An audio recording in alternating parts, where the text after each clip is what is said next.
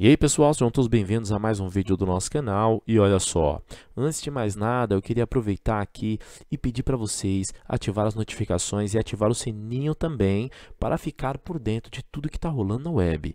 Deixe também o seu joinha e inscreva-se agora mesmo. Olha só, a notícia do momento agora que está todo mundo falando é sobre Celso Portioli, onde ele postou um vídeo para esclarecer as dúvidas sobre uma doença que ele acabou adquirindo. Pois é, na manhã dessa terça-feira o apresentador Celso Portioli usou as redes sociais para afirmar que vai dar início a um tratamento de imunoterapia após ter recebido o diagnóstico de câncer na bexiga por meio de um vídeo. O comunicador de 54 anos contou que descobriu a doença precocemente durante um exame de rotina. Portioli contou ter sido realizado um procedimento de endoscopia para que o pólipo fosse removido. Agora o apresentador do SBT terá que ser submetido a um tratamento intravesical dentro da bexiga.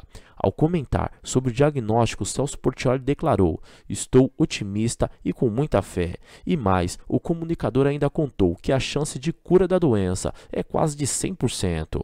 O apresentador confessou que ficou aliviado após ter sido informado sobre as chances de cura da doença. Ainda no vídeo, Celso contou que durante o tratamento ele poderá manter a sua rotina normalmente, inclusive a academia e trabalho. Celso afirmou ainda também que fez questão de fazer o programa ao vivo na televisão, após ter recebido o diagnóstico. Por isso, destacou estar tudo bem. Segundo o comunicador, é sim uma notícia dura de se receber, mas otimista afirmou que vai ficar tudo bem. Depois de publicar o vídeo, Celso Portioli recebeu apoio de muitos famosos. O apresentador João Kleber, por exemplo, usou os comentários para desejar que Deus proteja Portioli. O youtuber Felipe Castanhari desejou toda a sorte do mundo no tratamento do comunicador. Já deu tudo certo. Escreveu também outra ex-BBB Alumena Aleluia, que repercutiu o post de Celso Portioli. Após a repercussão do vídeo, muitos internautas se mostraram preocupados com o comunicador, que voltou às redes sociais para esclarecer